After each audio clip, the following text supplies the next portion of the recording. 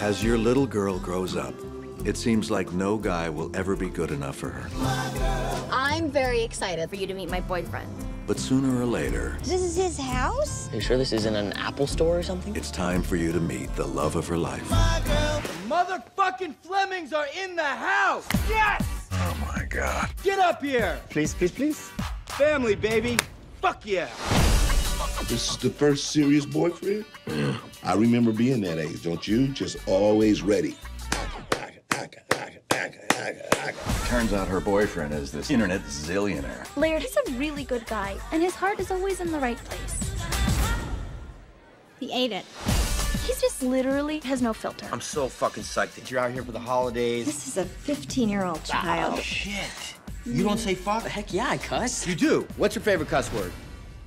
Titties. Don't say. Titties. Classic. What else you got? Dicking, double dicking. Oh, Double, wait, wait, hold on. Double dicking. It's Is that a- like dick it's- to dick? All right. This kid is nasty, and I fucking like it. Yes. Ned? On Christmas Day, I'm gonna ask Steffi to marry me, and I'd like your blessing. Uh, the answer is no. Why don't you give me a few days to win you over? By Christmas morning, you're gonna be calling me son. I'm gonna be calling you dad. Don't think that's gonna happen. I think it's gonna, Dad. Don't. What, Dad? Stop that. All right, Dad. You could be dating anyone. Why Laird? He makes me really happy. Oh, I think it's going great. I think they've already accepted me. I'm getting a little bit of a different vibe.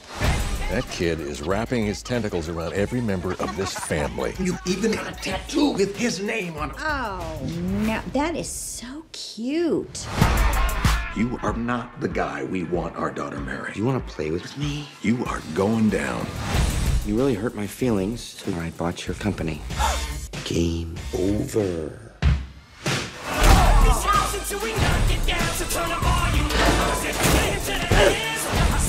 Everybody, calm down. I think you might be insane. I am. Insanely in love with your daughter. Matt, you okay? Where's Scotty. Oh my God, he's under the moon you, bro.